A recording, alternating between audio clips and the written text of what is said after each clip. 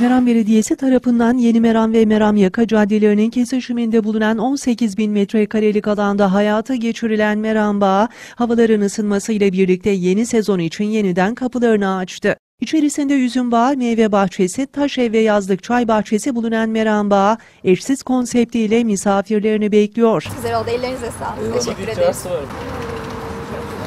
Belediye Başkanı Mustafa Kavuş, Meram Bağı'nı Konya'dan ve şehir dışından gelen misafirleri en güzel şekilde ağırlamak, Meram'ın tanıtımına katkı sunmak ve ilçenin zengin tarihine, yeşiline ve kültürüne sahip çıkmak amacıyla hizmete sunduklarını vurguladı. Bir ucu Meram Yeni Yolda, bir ucu da Meram Yaka'da olan Meram'a nereden gelirseniz gelin görmeden geçemeyeceğiniz bir 18 bin metrelik alan oluşmuş oldu. Buraya gezmeye gelenlerin de burada o pelitlerin altında Meram çayını içmeleri için sadece yaz dönemlerinde çalışacak yazlık çay bahçesi de oluşturmuş olduk. Meram Bağı'nın içinde yaklaşık 200 adet meyve ağacı bulunuyor. Meyve ağaçları arasında bulunan elma, ayva, kiraz, erik, kayısı ve hünnaplar yetiştiği dönemlerde gelen misafirlere ikram edilecek.